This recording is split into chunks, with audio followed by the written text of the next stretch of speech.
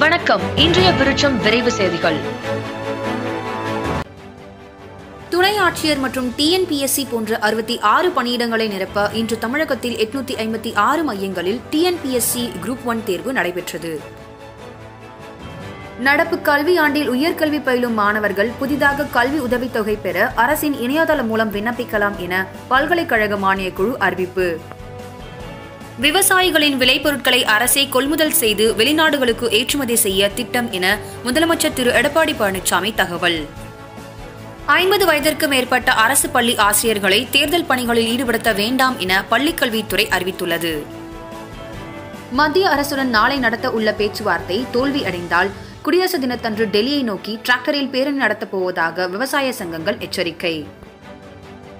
Cricket பணியிலிருந்து ஓய்வு பெற்ற தோனி இயற்கை முறையில் விளைவித்த காய்கறிகளை துபாய்க்கு ஏற்றுமதி செய்ய ஜார்க்கண்ட் அரசு முடிவு. காவிரி ஆற்றில் தமிழக எல்லையான பிலிகுண்டாவுக்கு வினாடிக்கு இரண்டாயிரத்தி ஐநூறு கன அடி நீர் வந்து கொண்டிருக்கின்றது. சீரம் இன்ஸ்டியூட்டின் கோவிட்ஷீல்ட் பாரத் பயோடெக் நிறுவனத்தின் கோவாக்சின் தடுப்பு மருந்துகளின் பயன்பாட்டிற்கு இந்திய மருத்துவ கட்டுப்பாட்டு அமைப்பு ஒப்புதல் அளித்துள்ளது. உலகில் தற்போது குறைந்தது நான்கு வகையான கொரோனா வைரஸ் பரவி இருக்கக்கூடும் என உலக சுகாதார நிறுவனம் அறிவிப்பு.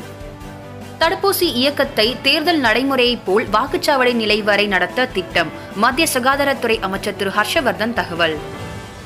கோவிட்ஷீல்டு மற்றும் கோவாக்சின் மருந்துகள் நூறு விழுக்காடு பாதுகாப்பானவை என மருந்து கட்டுப்பாட்டு அமைப்பின் தலைவர் சோமானி தகவல். ஜெர்மனியில் நடைபெறும் பந்தஸ்லீகா கால்பந்து தொடரில் ஹர்தா பெர்லின் அணிக்கு மூன்றுக்கு பூஜ்ஜியம் என்ற கோல் கணக்கில் ஷேக்லி அணி வீழ்த்தியது. நாளை தமிழகத்தில் ஐந்து மாவட்டங்களுக்கு இடியுடன் கூடிய கனமழை பெய்யும் எனவும் வட தமிழகம் தென் தமிழகம் ஆகிய இடங்களில் மழைக்கு வாய்ப்பு எனவும் சென்னை வானிலை ஆய்வு மையம் தகவல்.